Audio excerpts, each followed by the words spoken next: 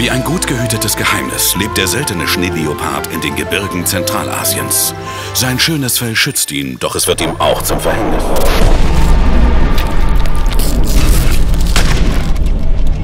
Schneeleoparden werden illegal getötet. Retten Sie Ihre Zukunft, bevor es zu spät ist.